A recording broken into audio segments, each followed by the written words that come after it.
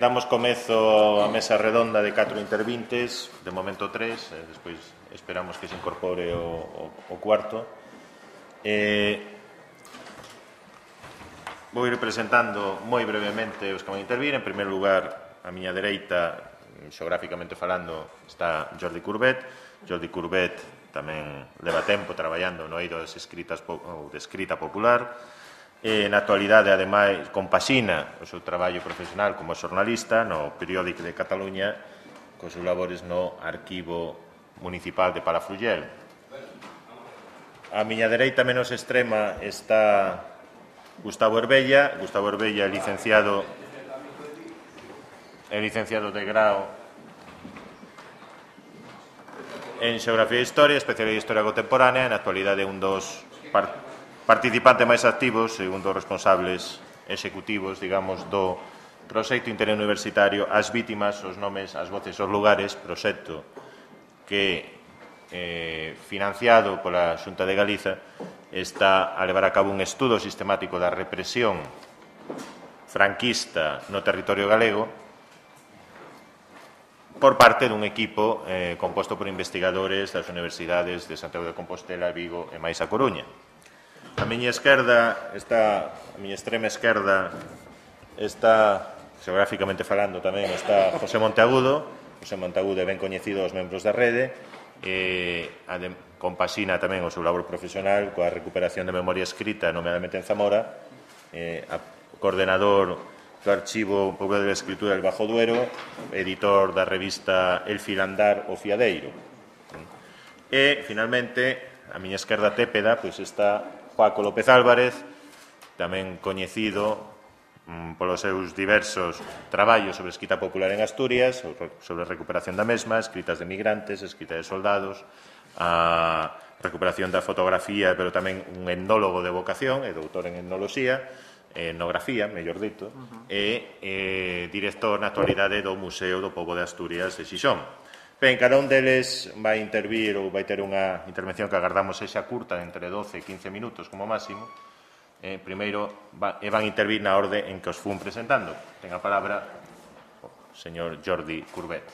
Bien, um, gracias. Uh, bueno, a pesar del, del recorte radical que, con que nos han obsequiado, uh, no quisiera pasar por alto los agradecimientos a, a, al arquivo, al Consejo, a la red de, de de ofrecerme la oportunidad de estar aquí con, en un marco espléndido y con tan admirados profesores a mi lado.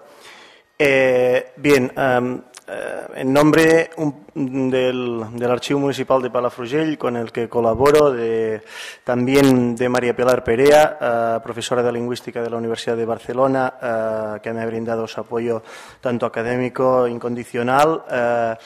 Bien, mi intervención en esta mesa redonda pretende dar a conocer muy brevemente nuestra experiencia particular en el campo de la recuperación de la memoria escrita en Cataluña. Eh, pero bueno, mm, visto que el, que el tiempo apremia, eh, dejaré aspectos más teóricos eh, en manos de los que mm, van a hablar o ya han hablado y mm, voy a ponerme a sintetizar al máximo eh, el proyecto que hemos llevado a cabo. Eh, de hecho, estoy aquí para exponer un proyecto que, a, juzgar por lo que se ha mm, explicado aquí, de lo que se está hablando, eh, parece a simple vista excepcional. Eh, y digo excepcional en el, en el sentido eh, estricto de, del adjetivo, porque de hecho nuestro protagonista aquí es una mujer. y como, como hemos comprobado, la escasa presencia femenina eh, en el universo de la escritura popular eh, eh es manifiesta. Y este hecho nos llevaría seguramente mmm, a, debates interminables sobre las circunstancias socioculturales que, que, lo han propiciado. pero afortunadamente la regla también admite excepciones y en este caso la excepción es una campesina catalana llamada Irene Rocas, a quien un buen día la letra escrita le cambió su vida. Eh, los rasgos biográficos de Irene Rocas coinciden con los de muchas mujeres de su misma condición, eh, por lo menos los que van desde su nacimiento en 1861, en Llufriu, en la comarca del Bajo Ampurdán, hasta 1906, eh, que es el año de defunción de su marido. Eh, una escolarización abandonada precipitadamente, un matrimonio concertado con un hombre 22 años mayor que ella, duras jornadas de trabajo en el campo, embarazos, partos, más embarazos, más partos, eh, siguiendo así hasta los nueve hijos, eh, dos de los cuales eh, murieron prematuramente y solo cuatro, solo cuatro la sobrevivieron al final de sus días. en definitiva, se, se trataba de un futuro poco halagüeño para una mujer campesina y sin estudios. Ahora bien, en 1906 su vida da un vuelco radical. Su marido muere súbitamente, Irene queda sola a cargo de, sus hijos y se ve obligada a abandonar su pueblo a la búsqueda de un clima más propicio mm, para la educación de unos hijos y los problemas de salud de otros. Eh, pero por otro lado, la, tragedia saca a relucir la, evidencia. Y la evidencia es que Irene por fin eh, se ve liberada de un yugo matrimonial despótico y coercitivo. Además, el traslado definitivo a Barcelona en 1909 le abre un universo cultural completamente desconocido hasta entonces. Eh, en ese momento saldrá a flote la Irene, inquieta culturalmente y socialmente activa, una mujer fuerte, de firmes convicciones y administradora de propiedades, de propiedades que le quedaron de su marido en Llufriu y en Cuba, en La Habana. Pero las rentas disminuyen progresivamente y ella acaba encontrando su sustento en lo que más le atrae, la cultura. Y aquí la ciudad condal, auténtico hervidero intelectual y político, es capaz de colmar las inquietudes de la matriarca, ya separada de los dos hijos mayores, Gracieta y Florenci, embarcados hacia, Argentina con el marido de aquella, eh, que era heredero y sucesor a la vez de una casa de comercio en La Pampa. Eh, su manera de canalizar el desconsuelo provocado por la división familiar es la letra la actividad lectoescritora compulsiva, eh, suscripciones a revistas de carácter folclórico, feminista y excursionista, consumo de prensa catalana, lectura de libros piadosos históricos, producción epistolar diaria a sus hijos y amistades, notas memorialísticas, traducciones de relatos, compilación de costumbres y refranes, etc. poco a poco, Irene se construye una nueva identidad y encuentra refugio en la grafomanía. El folclore se revela como su auténtica pasión y a ello va a dedicarse en cuerpo y alma.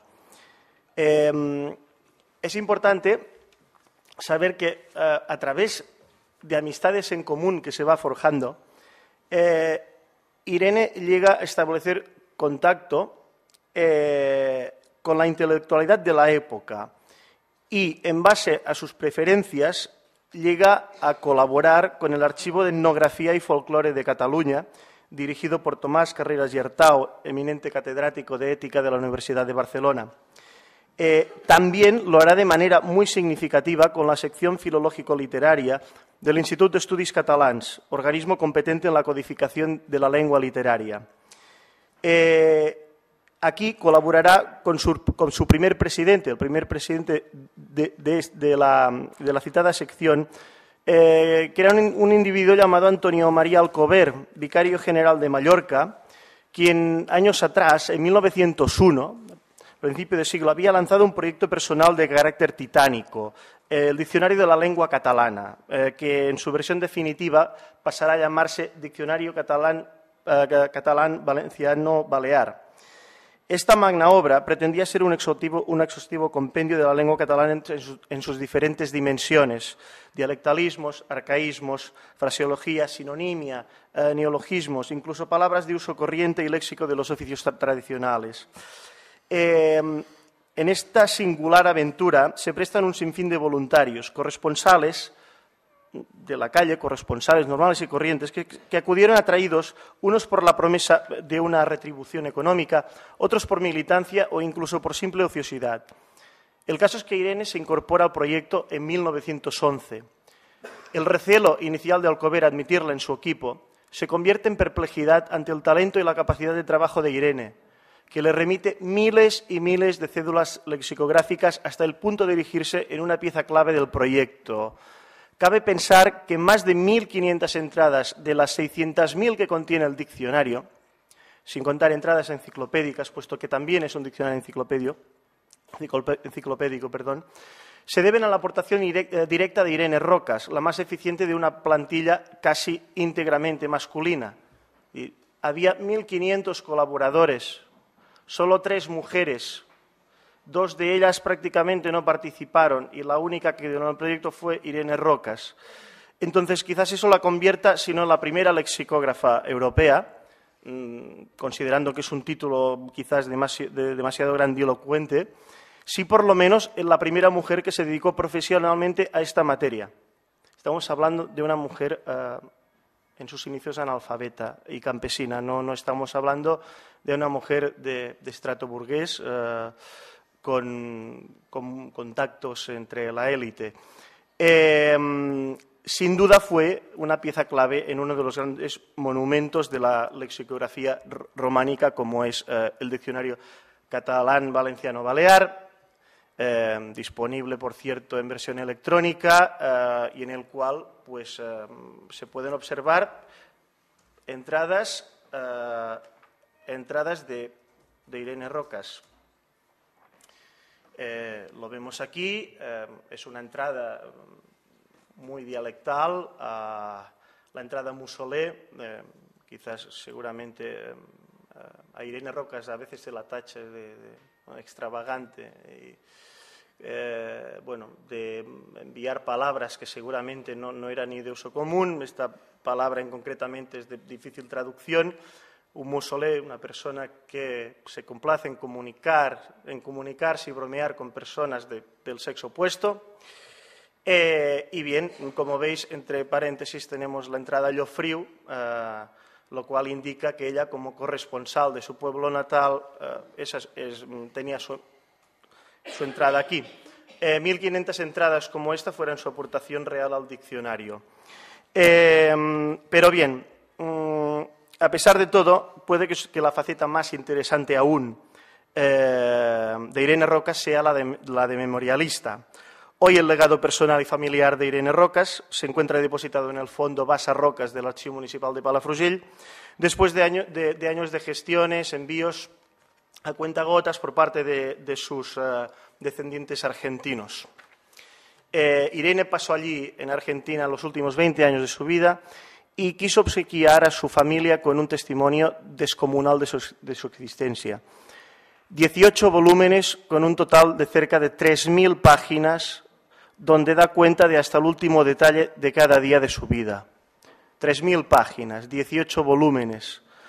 Eh, de hecho, desde su nacimiento en 1861 hasta 1909, fecha de su llegada a Barcelona, em, las anotaciones son memorialísticas, es decir, lo que ella recuerda de su vida, clasificado por años. Em, sus notas empiezan con notas simplemente memorialísticas, su, niñez, su infancia, eh, eh, desde que nació, y a partir de, 1909 eh, las notas pasan a ser diarias. Y de 1910 hasta 1947, fecha de su muerte, 37 años, disponemos de los detalles anuales anuales, mensuales y diarios. Eh, desde 1909, pues mm, lo que tenemos es un modelo de, dietario. ¿eh? Lo que teníamos antes de 1909 son simples notas anuales de resumen de los años de su, de su primera, eh, de su niñez y de, su infancia. Y como decía ayer también el profesor Castillo, a propósito de los libros de cuentas, em, los dietarios de Irene Rocas adoptan un carácter eminentemente práctico, es decir, mm, lo que en principio iba destinado a ser un obsequio, em, se convierte en una especie de enciclopedia del saber personal. Y em, ella afirma incluso que en sus propios dietarios consulta detalles de acontecimientos pasados o simplemente eh, soluciona sus dudas personales. Por ello, eh, elabora instrumentos para la recuperación de información, identificación de contenidos. Como vemos, uno de estos recursos, sistemático además, em, es, por ejemplo, el resumen de los, de los eventos más importantes. Al final del año incluye un resumen de todo lo que, ya lo que contado, una síntesis de los hechos más importantes que ha desarrollado anteriormente. Eh, el resumen es uno de sus instrumentos, pero es que además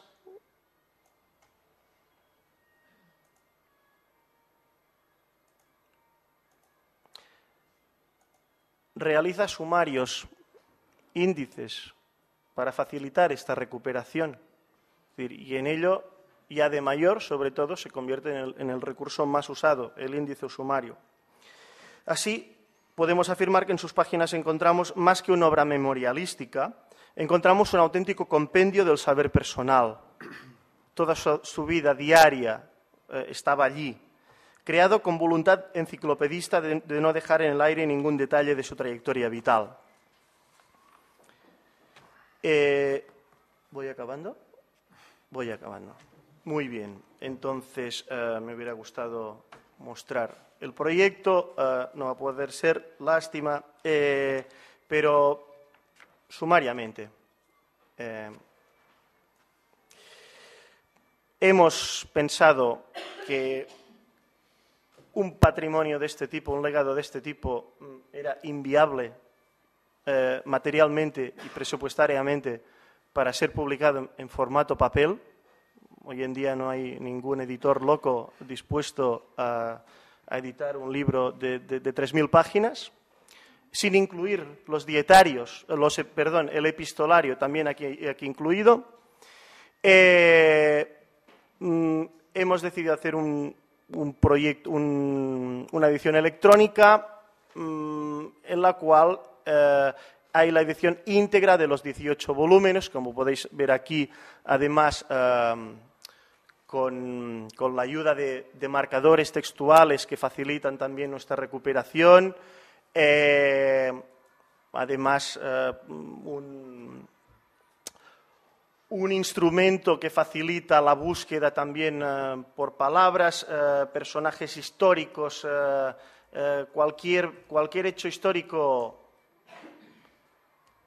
podía está, está aquí dentro, en este caso Hitler, ¿no?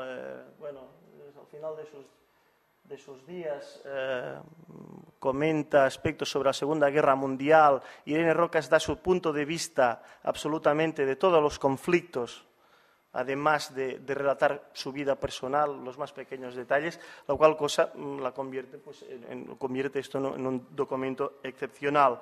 Además de eso, eh, el proyecto que hemos llevado a cabo eh, también dispone del, epistolario, este sí eh, completo, cruzado, de Irene Rocas con Antonio Alcover. Mm, son 160 cartas solo de comunicación con este personaje. No hace falta decir que el epistolario conservado en el fondo incluye miles y miles de cartas que, si a alguien le interesa, pues eh, bienvenido sea a empezar a trabajar. Eh, además, mm, hemos incluido también una galería de imágenes. Eh, desde bien, mm, ilustraciones de, la niñez de, Irene Rocas eh, hasta un poco pues imágenes familiares de, su retiro en Argentina. Eh, aquí la vemos con sus nietos. Eh, y un poco pues su contexto familiar, que incluye no solo la vida en Llofriu, en Cataluña, en Barcelona, eh, sino que también incluye pues, eh, eh, ilustraciones de, de su casa natal, hoy convertida en, centro cultural en Llufriu, grafitis que ellos mismos dibujaban en las paredes, El patrimonio, el patrimonio mm, gráfico y textual de Irene Rocas eh, es, un, es, una fuente inagotable eh, y es una lástima que aquí pues, eh, no podamos prolongarnos más. si alguien quiere, pues más tarde o cuando sea puede consultar material, incluso he traído fotocopias y tal de, Irene Rocas, de los dietarios. Eh, y nada, mm, solo una, frase para acabar. Eh, eh, yo me congratulo en presentar esto, aunque sea en petit comité, porque es el resultado de, más de tres años de, inmersión en la vida ajena, en la vida de una persona que para algunos fue pintoresca, para otros extravagante, pero que al fin y al cabo mm, fue una mujer que fue capaz de vencer a su propio destino y quiso dejar su, ejemplo a la posteridad. Hoy, 62 años después de su muerte, su legado textual queda abierto al estudio y, ¿por qué no?, pues también a su reconocimiento. Eh, muchas gracias.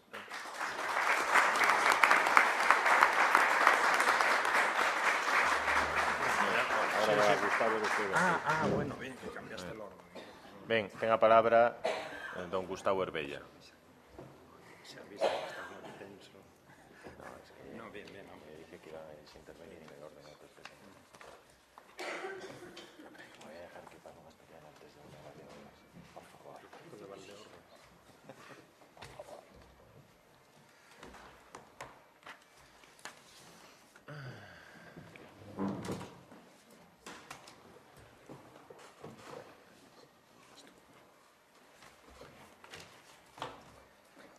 boas tardes a todos. Antes de nada, quería agradecer no nome do proxecto de investigación as víctimas os nomes, as voces, os lugares e no seu investigador principal, Lorenzo Fernández Prieto, ternos invitado a estas xornadas. Ben, eu vou eh, falar da documentación que desde o proxecto, desde que o proxecto se puxo en marcha no, en maio do ano 2006, pois eh, estamos a levar a cabo coa recuperación tanto de documentación eh, privada como de documentación pública, que algunha de, de carácter público depositada en arquivos públicos, outra, aínda que sexa pública, en mans privadas. Eh, para empezar, dicirlle os obxectivos do proxecto cales eran, era recuperar as voces, as voces da represión, as voces daquelas persoas que sufriron represión eh, eh desde o ano 1936, hasta o ano 1939, esa é a primeira fase do proxecto, elaborar con eses nomes recollidos a través da fonte oral e da fonte escrita o listado dos nomes da, eh, da represión en Galicia durante a, a Guerra Civil e, ao mesmo tempo, os lugares, facer unha xeografía daqueles lugares que eh, gardan algún tipo de memoria da represión, ben sexa lugares de paseos, lugares de torturas, cárceres, etcétera.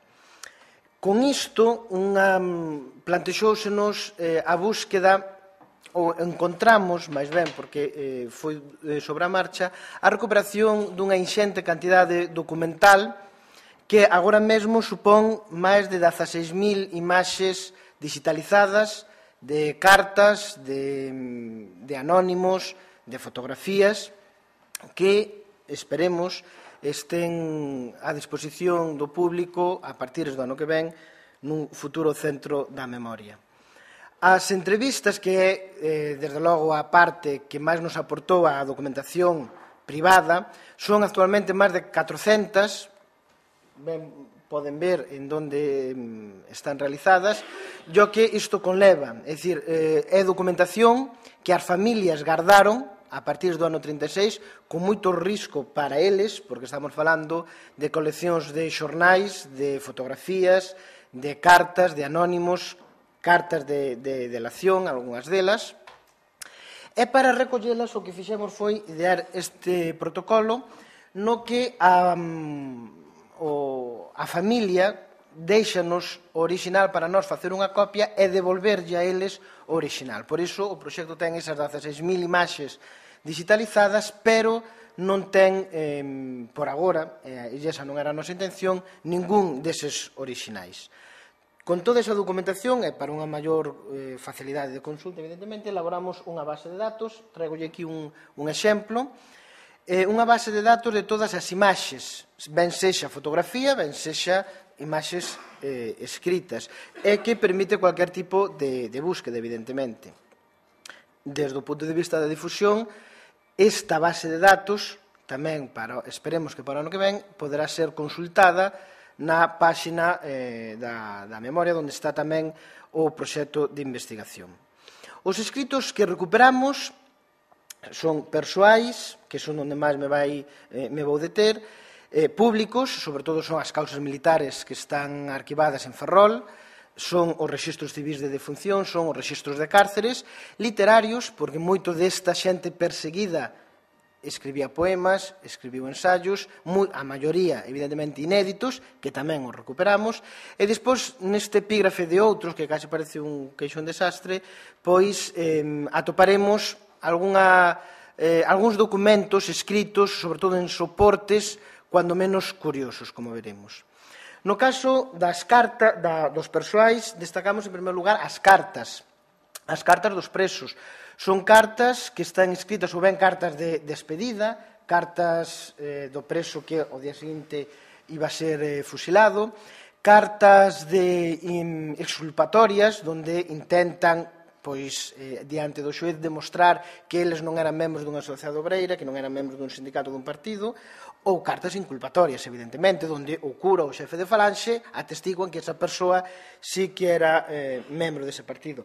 Neste caso, traigo estes tres exemplos das que temos. Estas serían unha documentación que está anexada a unha causa militar, como proba no xuicio que a esa persoa se lle dixo, se lle fixo, perdón. Entre eles está quizáis unha moi curiosa, que é esta que ven aquí na, nesta esquina, que é a de, eh, para porque tamén se pode ver hasta onde chegou o efecto da represión, porque é a carta de unha prostituta que eh, explica por que estaba eh, con, ese, con ese preso, inculpando a él, defendendo a outro preso, pero en realidad o que estaba era defendéndose a ela mesma diante do xuiz militar, non? que é o, eh, a donde se presentou esta carta.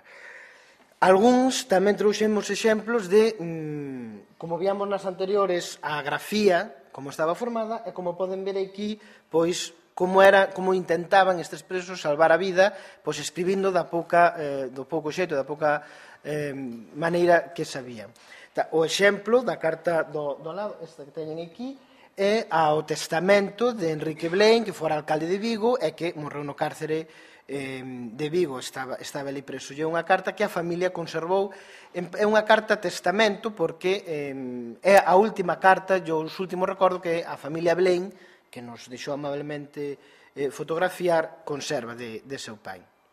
Estes serían ese tipo de, de, de exemplos, estas cartas. Neste caso, estas dúas xa non pertenecen a unha causa militar, non están nunha causa militar, senón que están no, no arquivo persoal desas xente que fomos entrevistar e que moi amablemente nos deixou copiar. Esta, eh, outro tipo de documentación, como vimos hasta agora, eran cartas, cartas que eran de xente represaliada. Este caso chegounos nos, no último mes unha colección de cartas, mm, trinta e tantas cartas, de unha madriña de guerra, é dicir, un señor, un soldado que estaba no frente, que tiña unha madriña de guerra de Bueu, e que lle escribía esa, mm, unha serie de cartas que este o exemplo. Para, trouxenllas para ver tamén a diferencia deste tipo de documentación epistolar que temos. Este sería o exemplo dun deses anónimos. Temos algo máis, trouxen de exemplo este que é de, da Gudiña concretamente, do, do que era da familia do que foi un dos do, do último alcalde da Gudiña no ano, no ano 36. Este tipo de documentación pois tamén son evidentemente as menos, pero tamén as, as estamos conservando no proxecto. Dentro dos persoais tamén eh, nos chegaron mm, unha serie de, de memorias, memorias de presos, de represaliados, uns fuxidos, outros presos, eh, exiliados, que, eh, sobre todo, por lo menos as que o proxecto conserva, eh, e aquí traigo o exemplo de dúas eh, desas memorias, foron escritas despois da morte de Franco, donde a persoa recordaba o que lle pasou no seu povo dende antes do 36. A primeira delas é unha as memorias dun mariñeiro de Moaña, de membro da CNT, condenado a morte, conmutada, donde eh, é unhas memorias que xa desde supoño que non se poderá ler, pero o que di é están dedicados ao seu neto, o seu fillo non sabía da existencia destas memorias, cando nós fomos entrevistar o fillo, porque o, o que se escribiu evidentemente pois xa, xa faleceu nos anos 80, o seu fillo mm, descubriunas, cando lle dixemos eh, se tiña algún tipo de documentación ou fotografía do seu pai, empezou a rebuscar nun baúl que quedara ali despois da, da morte de seu pai e de repente atopou unhas libretas. Esas libretas son as memorias de seu pai desde o ano 36 hasta os anos 80 que están dedicadas ao seu neto e donde se lle explica que esas son as memorias do, dun avó para o seu neto que teñen que ser lidas por o neto e que non poden ser lidas por o seu fillo. Estas traigo ya de exemplo porque van ser inminentemente publicadas en edicións do Castro con, un estudio dos investigadores do proxecto. As seguintes son evidentemente, como poden observar, son manuscritas. As outras, xa mecanografiadas, son, son de un eh, cenetista da Ogrove, residente en, en, en Trincherpe, en Guipúzcoa, que tamén fixo catro tomos de memorias, neste caso tamén troxen para outra maneira de, de recordar esas memorias que é a través da, de mecanografiadas, non manuscritas. Tamén nos atopamos con diarios escritos fe, realizados no mismo momento en que estaban acontecendo os feitos. O exemplo, este un, son algúns, temos varios, abundan máis paradoxicamente este tipo de documentación máis, por, por lo menos, as que chegou o proxecto que as memorias, e que temos naquela parte é unha, un desagravio. O pai eh, é un home de Velamartín de Valdeorras que lle matan o fillo, está desaparecido, nunca toparon o corpo, e quere, eh, nesta primeira páxina o que di, que ele escribe este diario para que, cando algún día España chegue á xustiza, alguén poda eh, cul, eh, meter na cadea os que mataron a seu fillo. O que teñen aquí eh, son os diarios de Gonzalo Becerra Souto, un toupo das Nogais, que estuvo agochado desde o ano 36 hasta o ano 75, eh, sae da súa casa o 20 de novembro do 75 para festexar a morte de Franco e morre en abril do ano 76 nas, nas Nogais. Durante o seu eh, agochado, desde o ano 36 ao ano 75, escribe un diario. Son, o proxecto teno digitalizado, son 10.000 páxinas digitalizadas do diario, donde, evidentemente, no ano 36, 37 e 38 ten contidos políticos, porque incluso nos anos 40 eh, nalgúnha páxina aparece unha, non un apoio directo á guerrilla, pero sí un complacencia que a guerrilla nestes montes de Lugo, para chegar aos anos 50 e 60 co que narra a vida cotiá dunha familia labrega como era a súa das Nogais, pois que se a mai vai a, ao mercado, que se veñen a comprar un, unha vaca, etc, etc, etcétera. Seguindo con este exemplo, destes eh, diarios temos outro exemplo, un, un, unha especie de diario carta, porque é dun preso da, da UGT, un membro do PSOE da UGT de Monforte, que é feito que está, está na cadea en Lugo, co condenan, e a condena é a, ao Porto de Santa María. Entón, montan en Lugo no tren, e ten que ir en tren, con máis presos, evidentemente, ao Porto de Santa María. Pois el eh, o que fai é escribir nunha libreta, como se lle estuvera escribindo a súa muller, contándolle desde o tren que é o que está vendo. Esta conta toda a paisaxe, desde Lugo hasta o Porto de Santa María, folla por folla. Neste lado, outro exemplo, un, eh, o alcalde de, de, nos anos 20 e despois, durante os anos 40, de Bayona, que narra unha especie de, de diario historia da vila, desde que ele era alcalde dos anos 20, a etapa da República, que ele non estaba na, na alcaldía, pero tamén a conta, e por xa os anos 40. Este é outro tipo tamén de documentación que temos. Despois temos tamén as fotografías. As fotografías que son, actualmente o proxecto ten máis de 6.000 eh, fotografías digitalizadas, moitas delas teñen eh, escritos. Eses escritos son moitas veces de despedida, despedida do, dos como a última fotografía, eh, moitas mandadas desde o exilio, desde a zona republicana, ás familias que tiñan en, en Galicia. Agora pasaríamos estas, mm, estes escritos máis eh, xurídicos militares, que son os das, causas, os das causas que están depositados no Arquivo Militar de Ferrol, tanto as de terra, que son moi coñecidas porque xa hai moitos estudios feitos, como as de Marina, que o proxecto de investigación foi un dos primeiros que fixo un baleirado sistemático das causas de Marina depositadas en Ferrol. Estes son exemplos destas, em, de, destas causas. Ao lado destes textos estarían as cartas que víamos ao principio de inculpando pois, a determinados a, a, aos, aos presos non? que ali estaban. Incluso, como poden ver, naquel lado era a, o procesamento de un, de un fuxido que para mm, que está declarado en rebeldía e para pechar a causa o que aportan é cando o matan no monte eh, que el que non pode estar procesado en rebeldía porque está morto e a mellor maneira de demostralo é a través da, da súa fotografía. Seguimos, son exemplos de, de causas, escritos do comanda, dos, dos comandantes, etc. Este sería un exemplo de, de mm, fichas de cárcere. Este é un libro, o libro da cárcel de Ferrol, que está depositado na cárcel de Coruña, na cárcel provincial.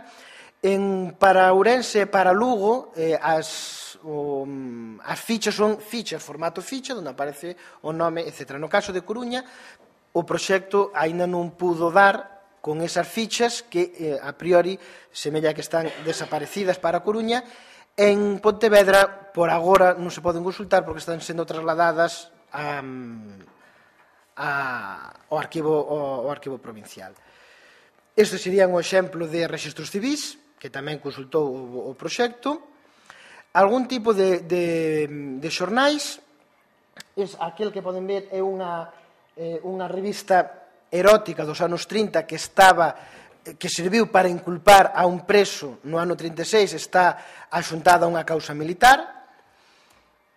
E pois este outro tipo, estes outros que lle dicía pois desde a, um, o recordatorio da morte de Humberto Solleiro o xenro de, de Ricardo Mella un, un carnet, neste caso, do exército republicano, unha mm, eh, bueno, tipo desta, desta documentación, unha cartilla de aforros dun preso, e mm, cárcere, un, o Comité Central de Autonomía de Galicia, un recibo de que Gómez Sende pagou o que lle correspondía para, para o plebiscito do Estatuto, e dispós os literarios, como ven, neste caso é pois, poemas, como poden ver, E pois estes outros, é dicir, estes escritos que tamén recuperamos aquele, eh, um, ese preso um, da familia Mojón da Cañiza non escribiu unha carta de despedida aos seus pais, o que fixo foi facer un dibuixo na cárcere e despedirse coa dedicatoria que poden ver eh, por riba. Ou, por exemplo, esta pintada, que era na Casa do Povo de Moaña nos anos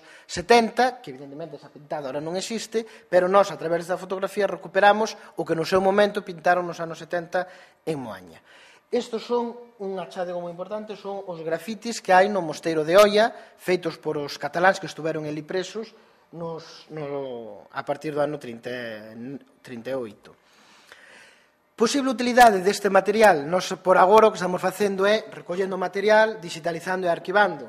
Este é un exemplo onde, polo de agora, nos solicitaron material deste, deste estilo para, para facer en, en difusión, evidentemente, na realización de audiovisuais. E nada máis, estes son os membros do, do equipo de investigación. E nada máis, moitas gracias.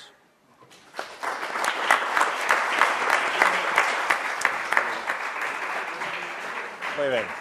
Ten a palabra don Joaco López Álvarez.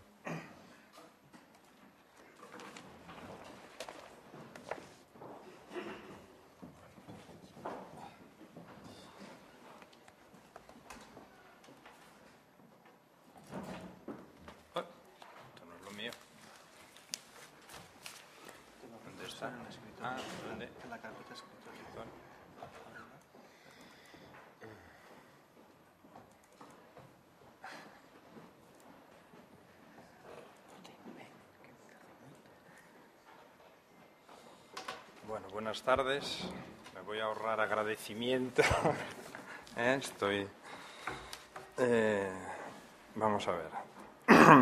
claro, llevamos toda la tarde oyendo testimonios como muy, muy concretos, eh, muy personales, una sola correspondencia, un dietario de una señora, ahora lo de la memoria oral del, de la guerra, del franquismo, la represión, y yo vengo a hablar de algo muy un poco diferente, lo mismo pero diferente, porque vengo a hablar de un proyecto general, un proyecto más amplio. Entonces, eh, vengo a hablar del Museo del Pueblo de Asturias, que está en Gijón, y bueno, vengo a decir que un museo es la mezcla de un objetivo, de un plan, de unos conceptos y de unos conocimientos. Un objetivo que defina en unas pocas palabras la razón última del museo.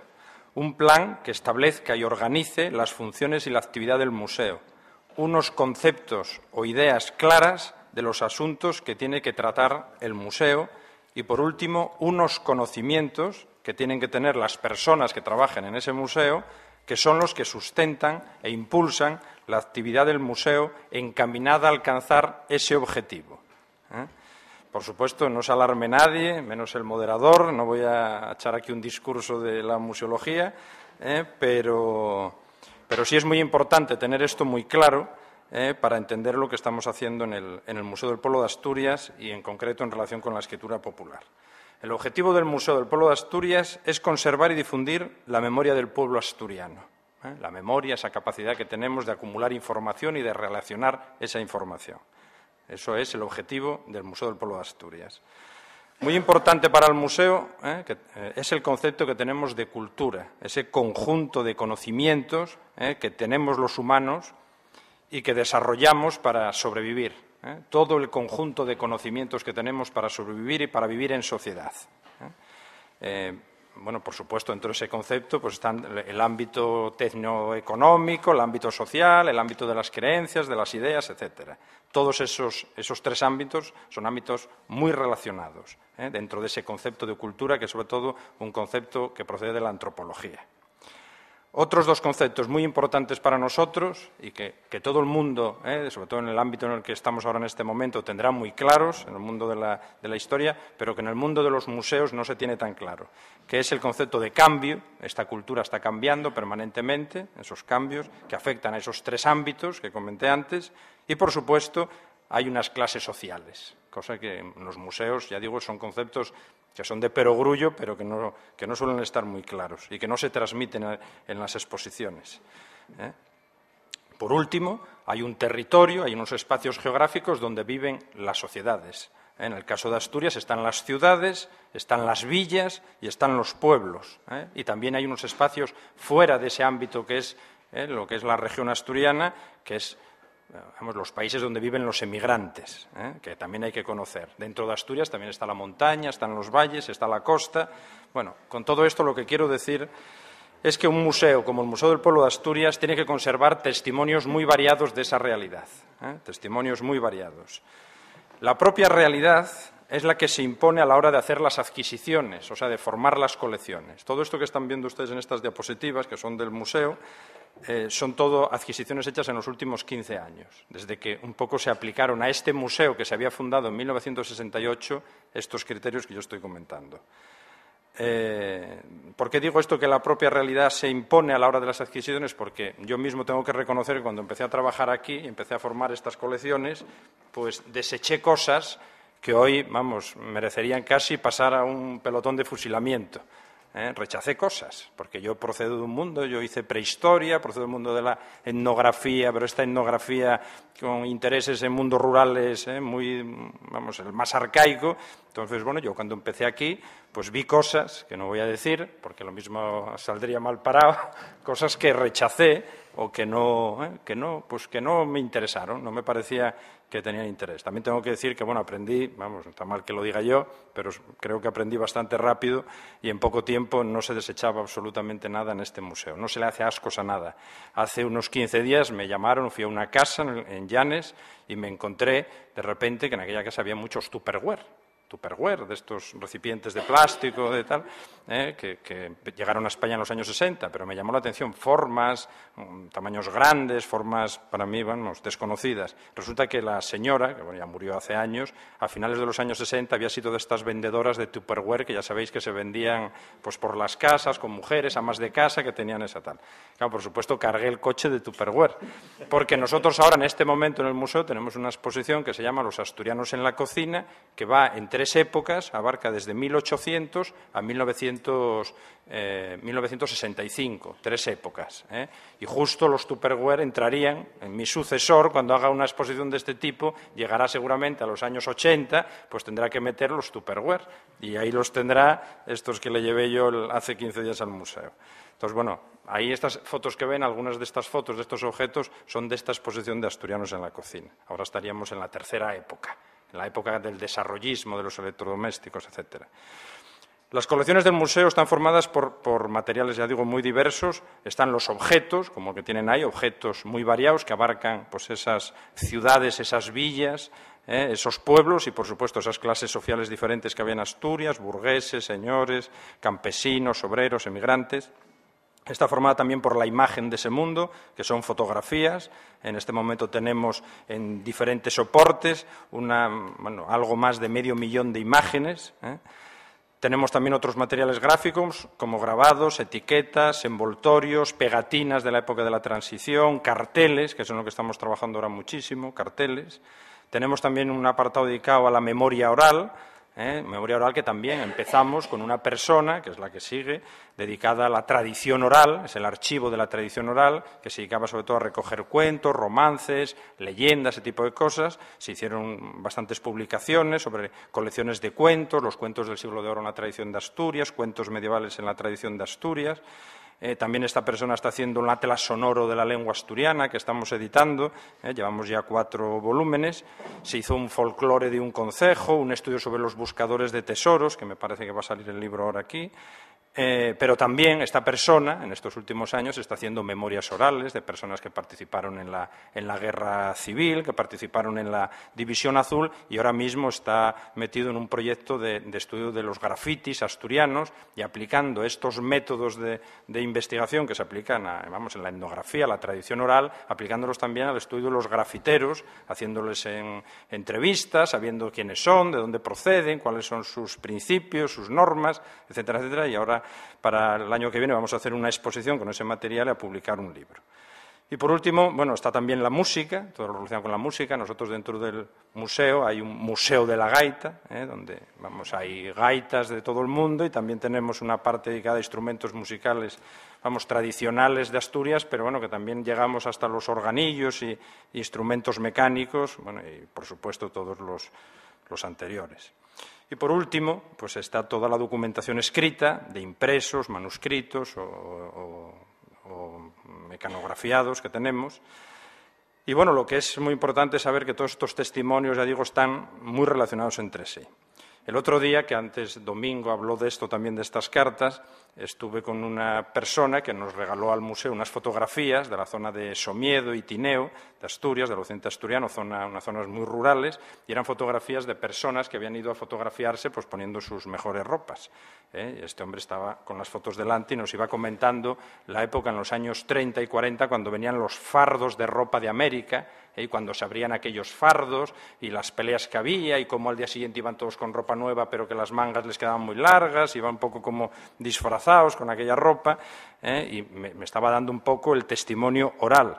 Tenía delante el testimonio gráfico de esa ropa, pero por otro lado, eh, hace unos pocos días también llegaron al museo unas cartas de los años 30 y 40, donde es una inmigrante desde Brooklyn, en Nueva York, habla de la ropa que os estamos mandando, que no os peguéis por esa ropa, que decirme las necesidades que, tengáis, y sobre los zapatos comenta que como tiene, vamos, no sabe el número del pie y los números no coinciden con los de América, les dice y les dibuja, lo vais a ver dentro de un rato en una fotografía, les dibuja mandarme el pie dibujado de la manera que yo os lo pongo aquí para saber exactamente cuál es el número de vuestro zapato. Entonces, bueno, con esto quiero decir que ahí tenemos los testimonios orales, los testimonios escritos, testimonio gráfico, y ahora solo nos queda conseguir ropa de la que venían esos fardos de América. Eh, bueno, entonces la documentación escrita del museo es muy variada. Tenemos archivos de, nobles, de casas fuertes de Asturias, del marqués de Ferrera, del marqués de Cienfuegos. Tenemos archivos de burgueses y de políticos, como son una parte, no todo el archivo ni mucho menos, pero es una parte de archivo de, Alejandro Mon, ministro de Hacienda en el siglo XIX, de su sobrino, Alejandro Pidal Limón, que fue un personaje que lo fue todo en este país, fue desde político, ministro, eh, director, de la Academia de la Lengua Española, bueno, en Asturias un cacique, una persona importantísima, del cual tenemos pues pequeñas partes, no tenemos el archivo, si tuviéramos todo el archivo de Alejandro Pidalimón, pues bueno, sería tremendo. Tenemos toda la correspondencia que recibió en algunos años de su vida, pero que es muy interesante por ejemplo, esto, claro, si yo, vamos, si contase pues las historias de cada, de la procedencia de todos estos materiales, pues tendríamos que dormir aquí varios días. Pero, por ejemplo, esto de Alejandro Piedra eh, procede de Valencia, de Valencia, pero a través de un señor que veraneaba en, en Alicante, que iba a Valencia, allí compraba cosas y después para pagarse sus vacaciones venía a mí y me lo vendía. Pero bueno, Así es como llegó esto de Alejandro Pidalimón. Tenemos archivos de profesionales, de un ingeniero muy importante de mediados del siglo XIX, Gregorio de Aurre, también con una historia muy peculiar.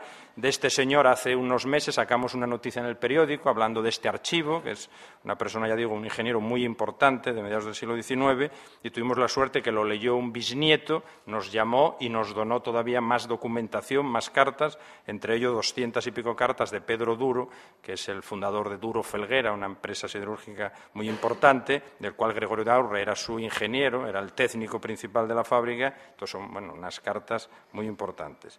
Tenemos, por supuesto, archivos de casas campesinas, son normalmente archivos de campesinos acomodados, ¿eh? de propietarios, con sus libros, libros de caja, libros de cuentas, escrituras, alguna correspondencia, etcétera. Eh, tenemos archivos de comercios y de bancos, sobre todo de comercios. Tenemos tres grandes archivos completos de, Boal, de, del occidente de Asturias, de Poroaza y de Llanes. Los tres eran comercios de ropa. Uno también traficaba con hierro, tenía un cine y los tres eran corresponsales de bancos. Y ahí se puede estudiar perfectamente pues, esas remesas de dinero porque ahí las tienes todas, ¿eh? todas las remesas de dinero que mandaban los emigrantes que estaban en América a sus familias. También tenemos una parte de un archivo de un banquero de Pravia muy interesante, porque era un hombre muy popular, Andresín lo llamaban, y ahí hay correspondencias de migrantes que él casi no conoce y se presentan.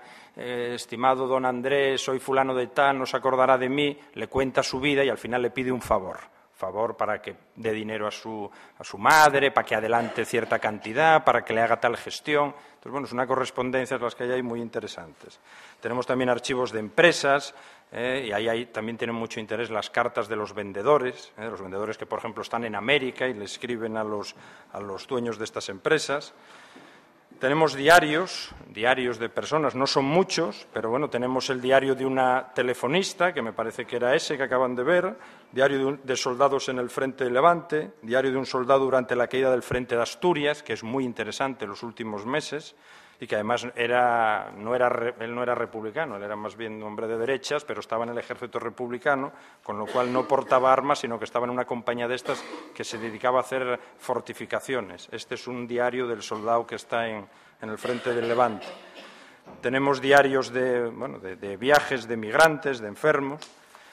Y por último, pues tenemos correspondencias, muchas correspondencias, por un lado de soldados, de presos también, algunas cartas de estas de las últimas ¿eh? de, algunos presos antes de que los fusilasen en la cárcel del Coto. Hay una correspondencia muy buena que tenemos, porque bueno, tenemos muchas de estas tarjetas, pero que son tarjetas que se mandaban desde la cárcel, donde la gente cuenta más bien poco, pero sí tenemos una que salió de la cárcel de una manera clandestina, en papeles muy finos, que escribió un señor que se llamaba Humberto Alonso, y este hombre escribe para su mujer y para su hijo muy pequeño. Su mujer y su hijo ya habían marchado, habían escapado para Francia. A él lo pillaron cuando escapaba en un barco en el puerto de San Esteban de Pravia y bueno, lo llevaron, estuvo en varias cárceles. Todo eso lo sabemos por sus cartas, que ya digo que las escribe dirigidas a su mujer y su hijo, pero que en realidad su mujer y su hijo tardaron mucho en recibirlas. Nosotros publicamos estas cartas eh, en un libro que, vamos, de Asturias en Guerra y una exposición, las dimos a conocer con la buena suerte de que pasado un tiempo nos llamó el hijo.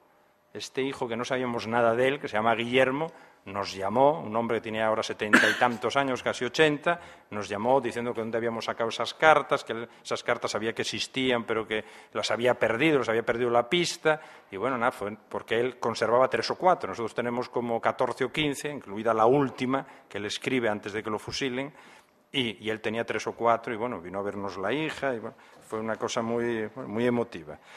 Y por último, pues tenemos eso, correspondencias de migrantes, ya hoy habló Laura por la mañana, nada más decir así, eso, las más antiguas son de 1860, tenemos unas alrededor de 46 correspondencias, algunas muy completas, algunas formadas por mil, vamos, 1.200 cartas, diferentes hermanos que están en América, en Cuba, en México, en Argentina, dirigidas a su casa, otras, por supuesto, que son siete ocho nada más, ¿eh? y en total tendremos pues alrededor de unas 5.000, ¿eh? casi, bueno, 5.000 y pico cartas de migrantes asturianos en América.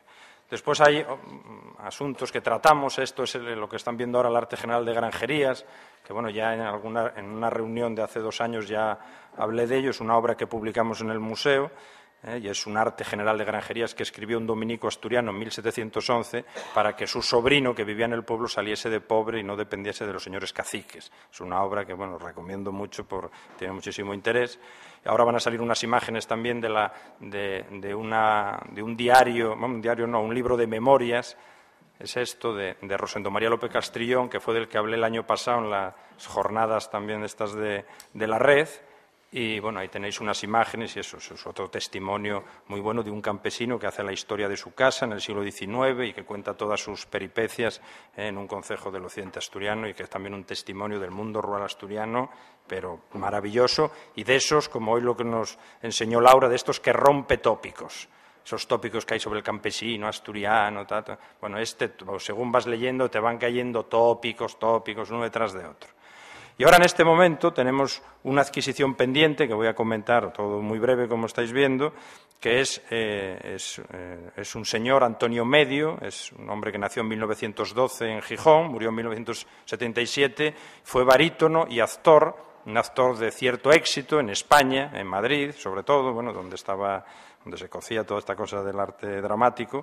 Debutó en 1938 en Zamora y tuvo, ya digo, su momento de gloria en los años 40 y 50. Pues este señor conserva una nieta, una documentación muy interesante que son, por un lado, están las memorias de su vida, que él escribió en dos cuadernos. ¿eh? Tiene 20 cuadernos, que es lo que él llama mi diario artístico, donde anota todas sus representaciones día a día y en algunos casos con alguna incidencia, alguna cosa que él quiere destacar y por último tiene nueve grandes álbumes, álbumes así de grandes, muy gruesos, eh, que él titula Mi vida en el teatro y que, contienen programas, anotaciones, dedicatorias, fotografías y recortes de prensa de su época eh, de su época de aficionado, o sea, de, 1929, que es cuando empieza en el teatro aficionado en Gijón, hasta 1969. Y, y bueno, y que es un material Vamos, yo cuando lo estuve viendo, además a mí me habían llamado para verlo y bueno, pensé que me iba a encontrar ahí un montón de recortes de prensa y la verdad que salí de aquella casa dos horas después un poco traspuesto porque fue ver la vida de un señor, porque está todo muy ordenado, muy claro, muy bien hecho. Todos estos recortes, ya digo, fotografías, programas, incluso carteles metidos ahí dentro. Y el tío va, eso, día a día, toda su vida allí puesta en esos álbumes y me pareció un testimonio muy interesante, no solo para conocer la vida del señor, sino la vida del teatro en la España de posguerra. ¿eh? Bueno, por último, decir que en Asturias hay muy pocas personas, que, vamos, sobre todo historiadores, eh, que, consulten esta documentación que tenemos en el museo, esta, documentación personal, bueno, de este tipo que acabo de comentar. Entonces, por eso el propio museo pues, es el que tiene que promover pues, su investigación y su difusión, ¿eh? con ese objetivo, como ya dije antes, cumplir ese objetivo de que el Museo del Pueblo Asturias pues, es el que vamos, tiene el objetivo de conservar y difundir la memoria del pueblo asturiano. Entonces, esto lo, hacemos de varias maneras. Una, pues una importantísima es lo de participando en la, en la red de archivos investigadores de la escritura popular desde hace cuatro años o cinco años. Por otro lado, publicando nosotros mismos esos textos. ¿eh? Nosotros publicamos en, en, una colección que tenemos que se titula Escritos de la vida cotidiana, el arte general de granjerías de Fray Toribio de Pumarada También publicamos en otra colección de libros que llamamos Fuentes para el Estudio de la Antropología Asturiana unas memorias de una niña de la guerra, muy interesantes, de una niña que todavía vive en, Cuba hasta ahora, señora ya muy mayor, ¿eh? Memorias de una niña de la guerra, y en este momento estamos preparando la edición de unas memorias de un maestro, un maestro también de muy, que empezó a ejercer en 1912 y bueno, le tocó la República, la guerra, y son unas memorias muy interesantes, eso, que llegan hasta los años 40. Por otro lado, tenemos un convenio de colaboración con la Universidad de Alcalá de Henares para el estudio de las cartas de migrantes, un poco el fruto de lo que hoy habló Laura aquí. Eh, después hacemos exposiciones, eh, por ejemplo la de Asturias en Guerra, donde teníamos una, hicimos dos exposiciones dedicadas, esto fue en el, hace dos años, para conmemorarlo del año, el comienzo de la Guerra Civil y en una era documentos de la guerra civil en los fondos del Museo del Pueblo de Asturias, y ahí es donde exponíamos pues, correspondencias, ¿eh? y ahí es donde presentamos estas cartas de Humberto Alonso que dieron resultado a la aparición de su hijo. Y por último, y muy importante, seguimos manteniendo siempre y permanentemente una política de adquisiciones abierta ¿eh? que, bueno, que abarca diferentes maneras de adquirir las cosas por donación, por depósito, bueno, etcétera, etcétera. Y también una presencia también en la prensa porque ya digo que el aparecer ese tipo de noticias en la prensa siempre anima a gente que tiene estos materiales pues a que nos los cedan o que nos los donen o por lo menos saber de, su existencia. Por último, decir que creo firmemente que el museo, ¿eh? los museos son instituciones que si se saben manejar bien y, se, las, dota de unos medios mínimos, son herramientas fundamentales para el conocimiento del pasado y del presente. ¿eh? Y creo que es fundamental apoyar instituciones ¿eh? Y, bueno, y creo, ya digo, que la del museo es que es una institución muy antigua, pero hoy, eh, para ciertas personas o en ciertos ámbitos un poco devaluada, sigue siendo una herramienta que teniendo esos criterios, esos conceptos, esos objetivos muy claros, sigue siendo una, ¿eh? una gran institución para, para mover todas estas cosas. Y bueno, nada más.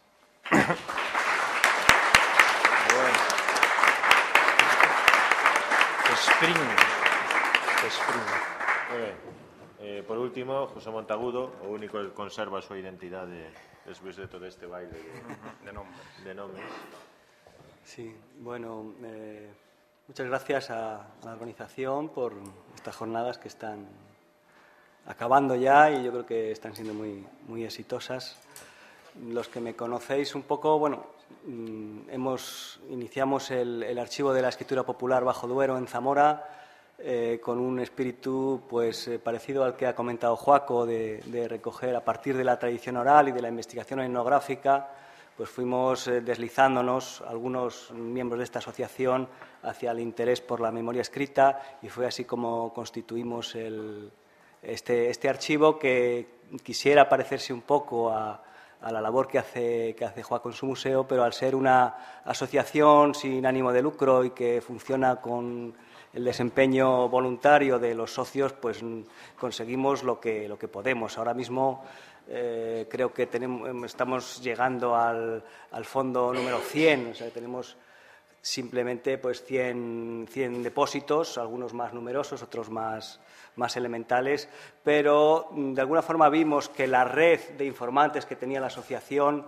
pues iba, se iba agotando. Y lo que al principio era un goteo continuo de, donaciones y depósitos, pues eh, se, fue, se fue secando ese, ese flujo y ahora son, son mucho menos las, las, donaciones que recibimos. Por eso planteamos la necesidad de crear un premio de memorialismo que incentivara el, depósito eh, eh, de, de materiales de, la escritura. ¿no? Y planteamos un proyecto que en principio iba a ser, eh, para también no agotar los temas, iba a ser temático. Entonces el proyecto de, premio de memoria iba a dedicarse cada edición a, pues, a un tema, al trabajo, a la escuela, a todos los, los, temas que hemos visto en los que se centra la escritura popular. Y en este primer proyecto que, luego os contaré cómo ha evolucionado, pues planteábamos como objetivos los que eran casi los, los que impusimos al archivo en su creación.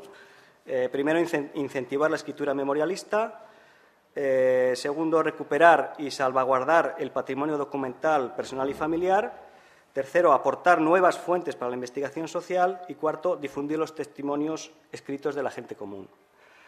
Eh, la forma de, intentar llevar a cabo este, este, proyecto, pues mirando lo que era posible y, lo que era conveniente para lo que recibíamos apoyo, eh, decidimos empezar por el tema de la migración, que bueno, es un, es un asunto que tiene mayor mm, probabilidades de apoyo institucional, bueno, por motivos políticos e ideológicos evidentes. ¿no? Y comenzamos a plantear el, premio de la, migración zamorana. Al principio se lo planteamos a la Diputación y recibimos el apoyo para hacerlo simplemente a nivel provincial, ¿no? con, el apoyo también de la, Universidad de Distancia, centro asociado, que es el que se hizo cargo de un poco de, todo lo que es el, apoyo logístico y dar, un poco de cobertura también académica a lo que es el premio. Mm, mi intención es hablar exclusivamente de este, de este, premio por lo que pueda servir de, experiencia para los demás, con toda la, humildad de un, premio bueno, que está, ya va por su tercera edición. Estamos obteniendo, en la primera edición, esta zamorana, fueron 79 memorias las que recibimos. La segunda, en el año 2006, que ya se amplió a la región de Castilla y León, eh, subimos a 82 historias de vida. Y en, esta, la segunda edición, que fue el año pasado, ya bajó un poquito, ya también se van agotando un poco los recursos que tenemos y bajó a 45. Pero bueno, ya es un, ya es un acervo considerable ¿no? de, la inmigración castellana, sobre todo porque nos, hemos, nos hemos, hemos, intentado llegar a los emigrantes que fueron a América, que fueron los más mayores. Hemos descuidado la migración interior o la migración europea por considerar que los supervivientes, las personas que pueden transmitir ese testimonio, todavía tienen edades que pueden eh, ponerse a escribir unos años, mientras que eh, la migración a América, que fue en los primeros años del siglo XX, pues las personas que podían dar testimonio en primera persona eran muy mayores. Incluso de la primera edición hubo gente que, falleció al poco tiempo porque tenían edades muy, muy avanzadas.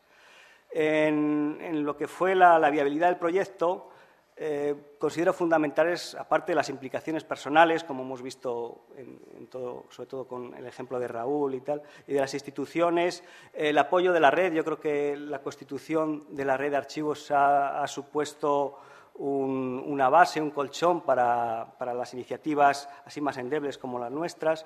Y luego, al organizar el premio, también hay dos cuestiones que han funcionado bien y tengo que mencionar cuáles son esos factores que se han tenido en cuenta. La organización en la que eh, el centro asociado de la UNED ha sido fundamental porque requiere una, labor muy importante de llegar a esos mediadores. Al final, eh, para, la, consecución de, historias y de, materiales de escritura popular es muy difícil llegar a la propia gente.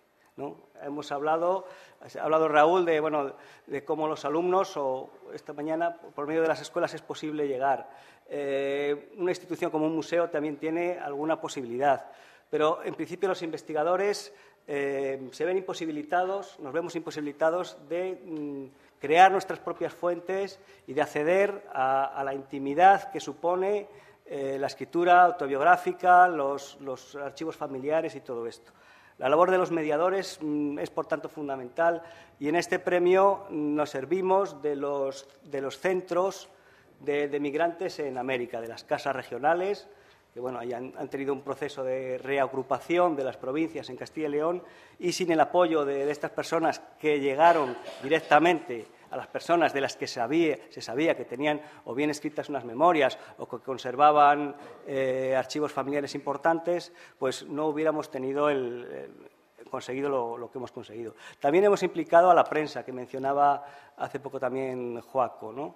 y incluso en el jurado eh, los miembros, aparte de, yo mismo, pues están, el resto son periodistas.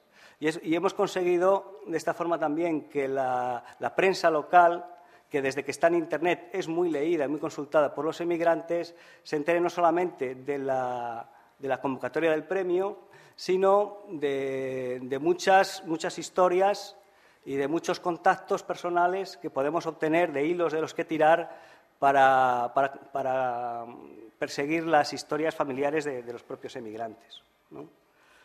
Eh, desde la primera convocatoria se decidió, visto el, interés que tenían casi todas las, memorias recibidas, que bueno, hay muchas cosas de las informaciones y de la propia escritura de las memorias que tienen en común con los epistolarios y con las cartas, que es de lo que más ha hablado, pero eh, las autobiografías de los emigrantes tienen una particularidad muy diferente de las cartas.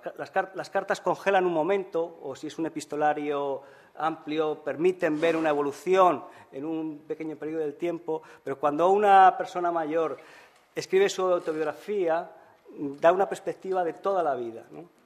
De todas formas, es verdad que son, autobiografías condicionadas a unos intereses muy concretos.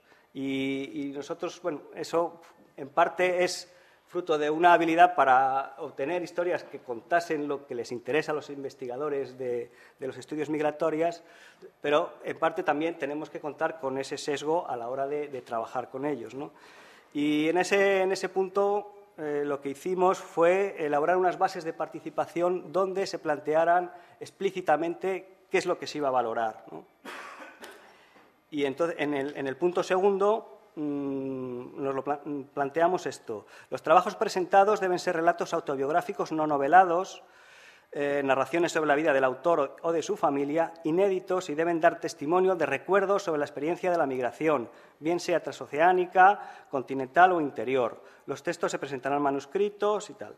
Y luego, hablando del jurado, eh, planteamos también, al tratarse de un premio de memorialismo no literario, se valorarán la naturalidad y la sinceridad de las narraciones, así como el interés de la información etnográfica, histórica y social que aporten, no así sus cualidades estilísticas.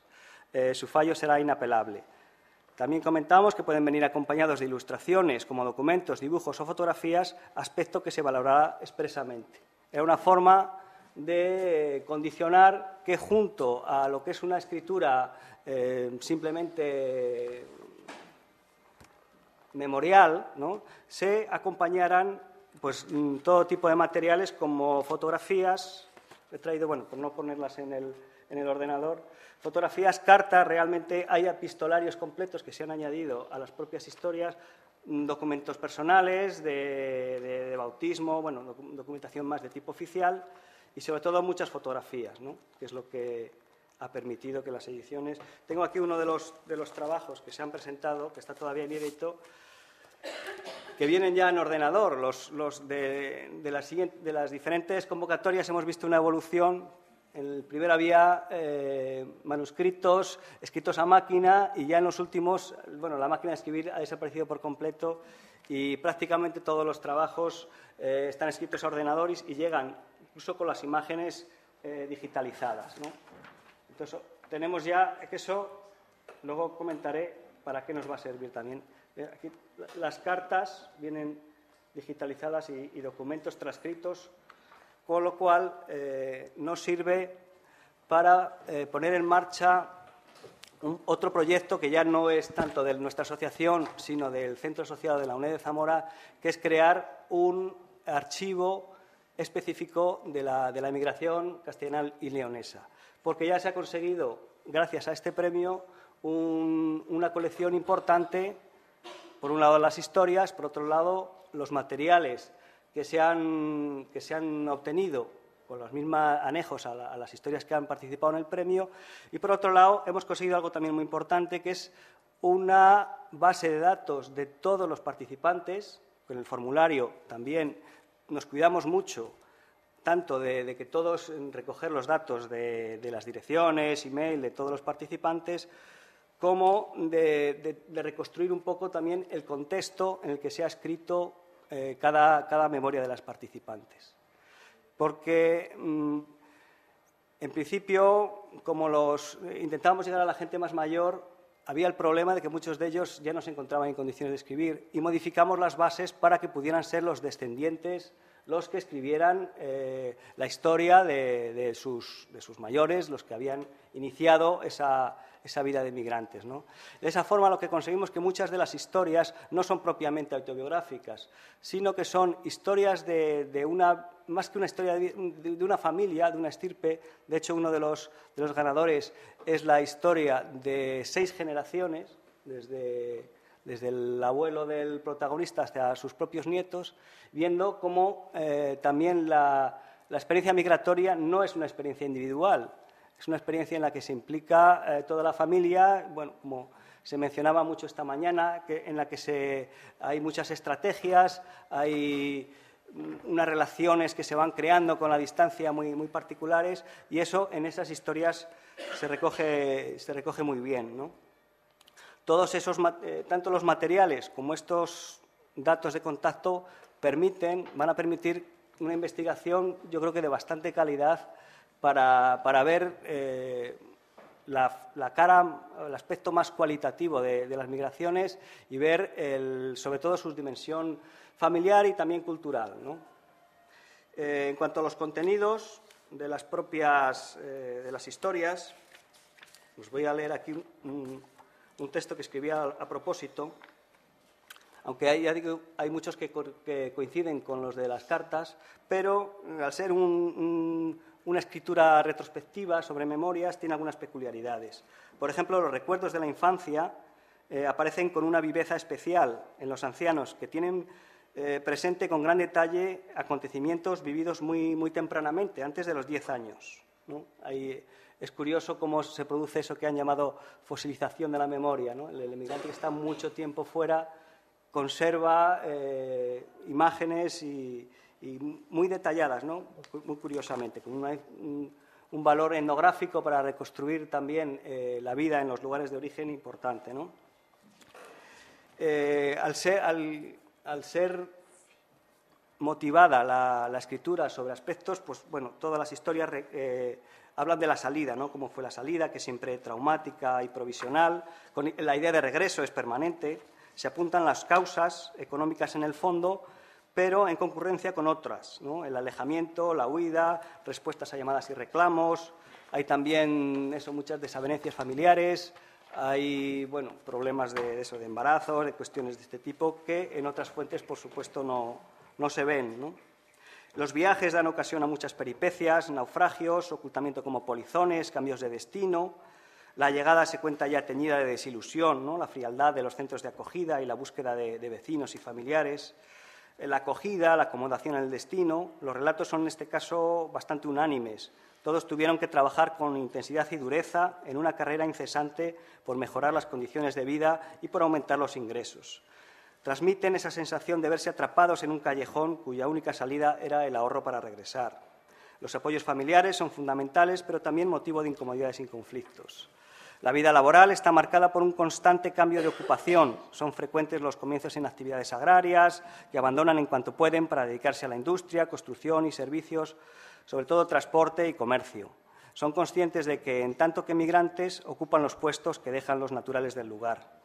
Se reseña con, asiduidad la influencia de los acontecimientos históricos, las guerras, las crisis económicas, los cambios políticos, los desastres naturales en el devenir de la vida familiar, que es causa de, continuos cambios y a menudo eh, frustra la, consecución del regreso.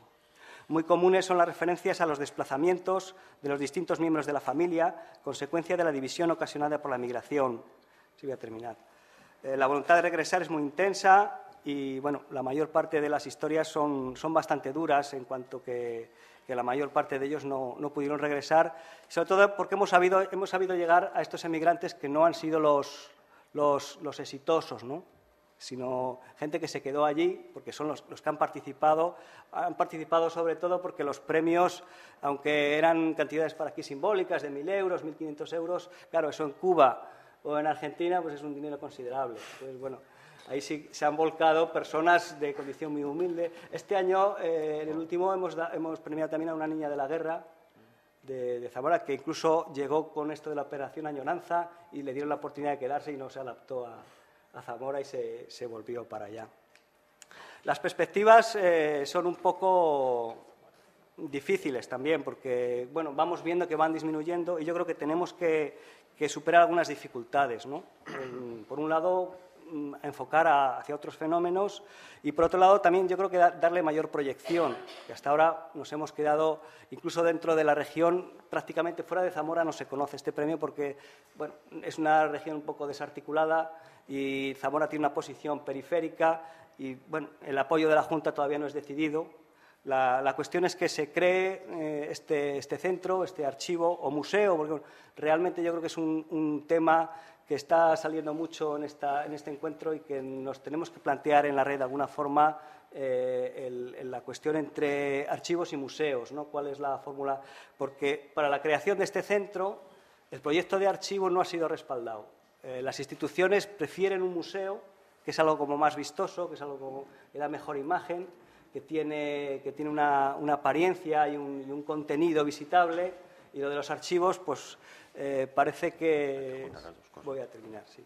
Digo que hay que juntar museo y Hay que, que juntar, sí. Sí, de hecho, el, el, el proyecto eh, se, se, va, se, va, a hacer así, ¿no? Como, como archivo-museo, ¿no? Incluso en, en la, la, red de la UNESCO de, de centros migratorios está formada por, por, museos, no por archivos. Entonces, bueno, si realmente nos planteamos el, hacer centros temáticos, bueno, también es otro tema entre los, temos, los, centros más generales y los centros temáticos, pero, este de la migración yo creo que, ahí hay que, aclararse ¿no? un poco, o, o, buscar fórmulas conjuntas o estudiar un poquito esto de los, de los archivos y los museos. Nada más, muchas gracias.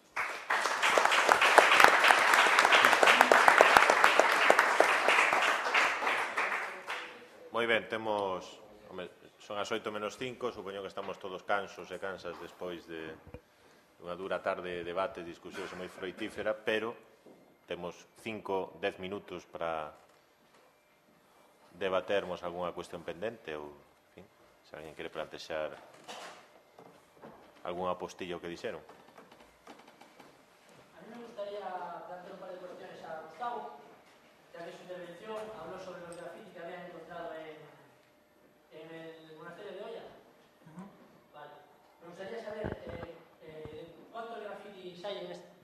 ¿Cuántos grafitis eh, eh forman este corpus?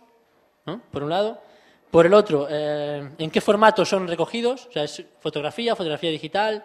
¿Se han escaneado posteriormente? O sea, ¿cómo se guardan estos grafitis?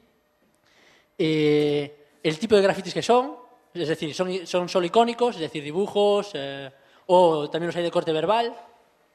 Y por último, si se ha hecho algún tipo de análisis o de trabajo sobre ellos. Muchas gracias. Sí, eh, bueno, os, a cantidade, estamos falando duns grafitis que, bueno, o mosteiro de Olla, como foi adaptado a cárcere, subdividiron as diferentes estancias do mosteiro con, con ladrillo e, e cal. Están pintados sobre, eh, sobre iso. Eh, hai de todo, porque hai grafitis, incluso a hora de, da súa conservación, eh, habería que, que plantexarse o mellor cuáles se conservan e cuáles non. Hai paredes moi ricas, pero están superpostos, porque non só hai, eu aquí puxo un, un mínimo exemplo, nós eh, temos recollidas en fotografía digital 600 copias desde diferentes puntos de vista, diferentes debuxos, pero a, a, a, os escritos están superpostos. Hai escritos de presos, escri, eh, había presos que poñían determinadas mm, consignas, e os guardias falanxistas escribiron por riba, entón hai símbolos de falanxe, eh, as típicos eh, debuxos do calendario tachando con... E despois sai pasa con mellor, claro, a, a diapositiva era moi pequena, hai textos. Textos de aquí estuvo tal, un, un fra, eh, párrafos de tres ou cuatro líneas, e hai debuxos eh, de colores, o sea, non só é o típico grafiti por realizado con carbón sobre, senón que incluso hai algúns debuxos, casas pintadas, no, no, no, en, en cada unha das, das, das paredes. A súa conservación, o, o Mosteiro de Olla é de titularidade privada. Eh, a nós, cando eh, a empresa, que é unha, unha empresa naviera, pois quere, eh, quixo, ou pretende facer ali, se non me equivoco, é un, un hotel, pois puxos en contacto con nós, pedíndonos como proxecto de investigación que, mm, que eles non terían ningún inconveniente en ceder todas esa, ese, esas paredes. Esas paredes non están suxeitas ao que sería a estructura eh, de, de, de protección como VIC, porque esas paredes, xa digo, son feitas no momento para albergar presos.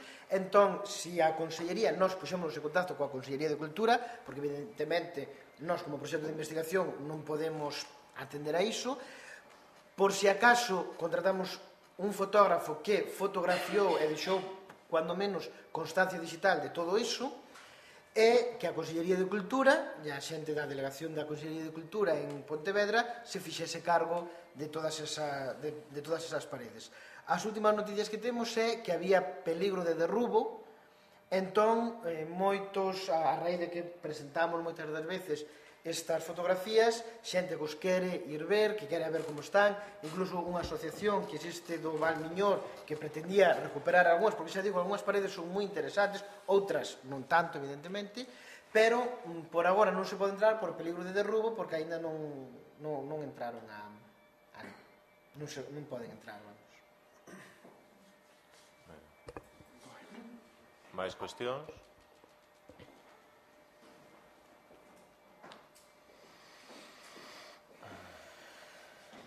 Antes de nada agradeceros un poco a todos ¿no? las, las exposiciones y sobre todo las iniciativas que estáis teniendo y el trabajo que habéis hecho porque nos sirven mucho, creo, a, a todos. ¿no? Y como a los demás los tengo muy vistos, voy a hablar también con Gustavo. Me ha interesado mucho el, el proyecto que has presentado y quería preguntarte si habéis tenido en cuenta las solicitudes de indemnización que desde el año 2000 están llegando a los archivos militares. No lo sé si, si habéis eh, tenido acceso a esta documentación.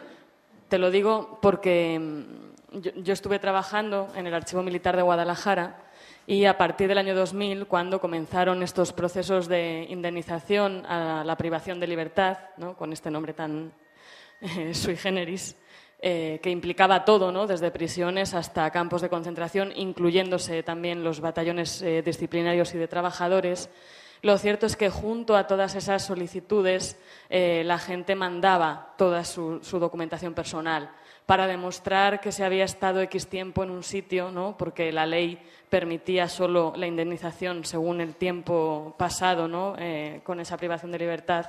Se incluían cartas, se incluían memorias, se incluían dibujos, diarios y toda esa documentación está anexada a esas solicitudes y eh, es una documentación prácticamente perdida. ¿no? Creo recordar que solo la Generalitat eh, fotocopió toda esta documentación y la depositó en el, en el de Cataluña, pero que el resto de, digamos, de, de lugares donde se llevó a cabo el proceso no lo hicieron. Lo digo porque un proyecto tan, tan interesante que está recuperando tantas cosas con cierta fuerza también, ¿no? quizás podríais intentar acceder a esas solicitudes y a la documentación anexada e incluirla aquí, porque si no se incluye en cosas como esta, seguramente no se va a incluir nunca en nada y si se va a acabar perdiendo como sugerencia y como también propuesta ¿no? para avanzar un poco en eso.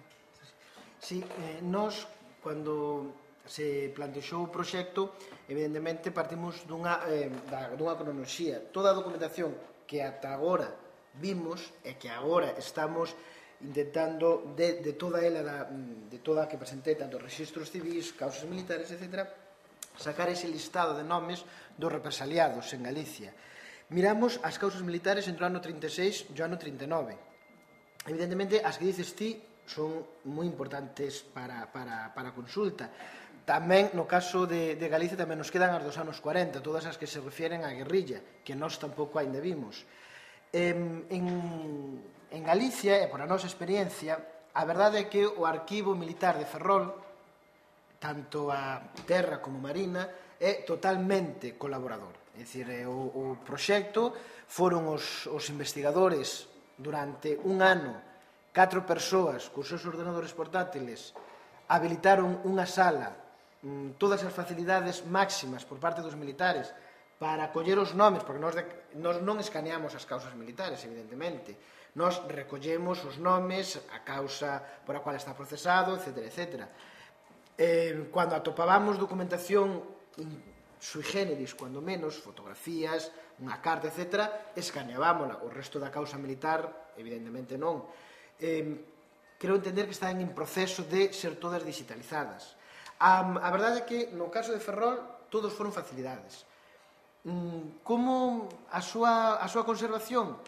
pois é complicada. Eles son conscientes, a nós pediron moitas veces axuda porque son conscientes de que eles non poden mm, conservar ni saben como facer toda esa, esa documentación. Tanto esa a, as documentación que te dices como a dos anos 40, como as os registros que tamén mm, aquí en Galicia se cubimos dos 315 registros civis de defuncións de Galicia, hai algúns que están en moi pésimo estado hai cinco concellos de Galicia donde non hai rexistro civil. Eh, temos, vamos, intentaremos ir aos rexistros parroquiales. De cinco concellos estamos falando de 63 parroquias, cada unha co seu libro de defuncións e a súa conservación podemos nos imaginar todos como é. Evidentemente, temos que ir pouco a pouco, paso a paso, pero pretendemos chegar a, a todo iso. Muy bien. Ancho.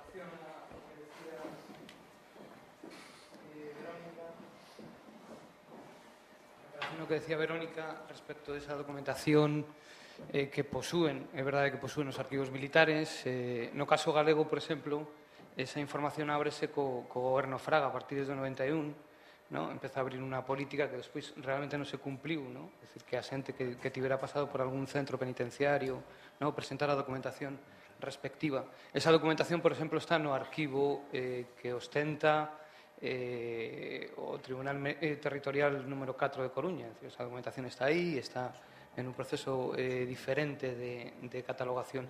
En todo caso, é unha información moi interesante. Aí hai moitísimo material privado que a xente aportou, non? que a xente achegou para, para demostrar ¿no? todo ese período que pasaron en, en reclusión carceraria. ¿no? E claro, eso abre un proceso, é dicir, eso abre unha, unha espita de, de discusión eh, bueno, que estamos vivindo ahora co proceso que abre Garzón ¿no? de, eh, de investigación do, de toda a dictadura franquista donde vamos a poder acceder a moitísima máis documentación que sabemos que está escondida que leva anos escondida, leva décadas escondida, é documentación secreta, vamos a poder acceder a moitísima documentación que está nos arquivos estatais, non? E, e claro, eh, tamén estou recordando, por exemplo, na liña disto que estás dicindo, que cando se produce a muda da dictadura a, a, ao sistema democrático, nas primeiras, nas primeiras eh, leis que pon en marcha a Suárez, no 76, 77, coas eh, famosas leis da amnistía, eh, xa moitos represaliados polo franquismo eh, tiveron a oportunidade de acceder a esas axudas que se, que se fixeron vía judicial, vía sulgados de instrucción local. Por tanto, os, os, eh, as persoas que tiñan sufrido algún tipo de represión foron diante dun suiz de instrucción e declararon, eh, xunto con dous eh, testigos, xunto con dúas testemunhas, declararon no, eh, cal foi a responsabilidade de determinadas persoas na morte dun familiar ou en determinado aspecto eh, represivo. ¿no? Aí hai documentación tamén moi interesante, por exemplo, un, un dos grandes misterios da, da sociedade española que non podemos acceder aos arquivos judiciais, ¿no? que son un auténtico misterio, están atrapados ¿no? pola, pola, eh, bueno, polo control eh, que, que, que, que fan eh, os que controlan realmente os resortes dos arquivos. ¿no? Por certo, esta tarde, cando viña aquí a Santiago, o a Sala do Penal da Audiencia Nacional eh, paraliza todo proceso de maneira cautelar, todo proceso que tiña en marcha Garzón, co eh, fundamentalmente e básicamente porque eh, Garzón eh, solicita exhumar algunhas, eh, fosas ou algúns restos que estaban no Valle de los Caídos, ¿no? porque estamos tocando a fibra sensible, o corazón sensible da dictadura. ¿no? E nese sentido, na liña do que estabas dicindo, Eh, eu creo que se o proceso de Garzón vai adiante vamos a poder acceder os investigadores que traballamos en escritura popular a moitísima documentación que, que nos va a sorprender moitísimo. ¿no? Vamos a acceder a documentación privada que está en, en, moitos, en moitos canles que nestes momentos non podemos acceder. Un investigador normal non pode acceder a, a determinada información. ¿no?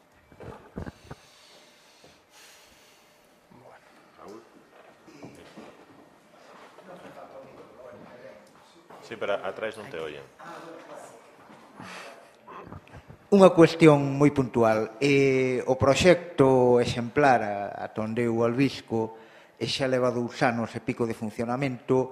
E, en xeral, que avaliación hai da participación e do compromiso de, de diferentes actores, grupos eh, profesionais, sociais, eh, asociacións locais, profesorado, etc. Que nos podes contar sobre isto? Sí. Ben, a, o apoio ao proxecto por parte da, da sociedade civil, chamémosle así, foi total. Eh, as asociacións colaboraron con nós mm, moitísimo, de feito, moitas desas imaxes digitalizadas que temos é grazas a que a Asociación de, de Cangas, de, de, de Vila García, de Ribadeo, nos aportou desinteresadamente moita documentación.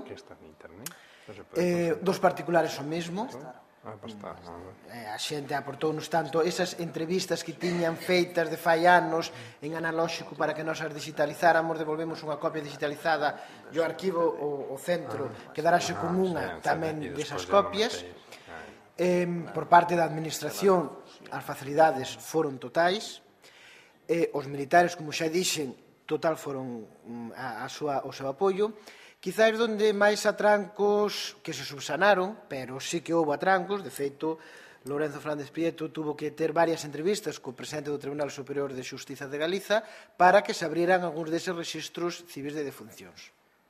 Dos 315 registros, os de Ourense xa estaban traballados por Julio Prada, que é coordinador do proxecto nesa provincia, xa nos pasou os resultados, pero no resto de provincias houve registros civis que se negaron. Eh, a abrirnos, eh, evidentemente, desde, desde que o, o presidente do Tribunal Superior de Justiza comunicou a todos que tiñan que ser abertos para, para investigación, non houve problemas. O atranco maior nese aspecto, que foi o atranco que simplemente retrasou un pouco máis o traballo na, nas expectativas que tiñamos foi o dos registros civiles. Do resto, a verdade é que todo foron facilidades.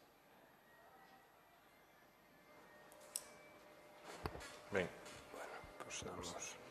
Ben, se non hai máis preguntas, levantamos a sesión, agradecemos a todos a activa participación. Recordamos dúas cousas, os integrantes da rede de arquivos escrita popular están convidados a unha cea no restaurante 16 ás 9 cuarto. Es decir, todos los integrantes de la red están invitados a una cena a las 9 y cuarto, en el restaurante Odeza 6, Rúa de San Pedro, número 16. Eh, segundo, mañana los miembros de la red tendrán una reunión aquí a las 10 de la mañana, en este mismo lugar.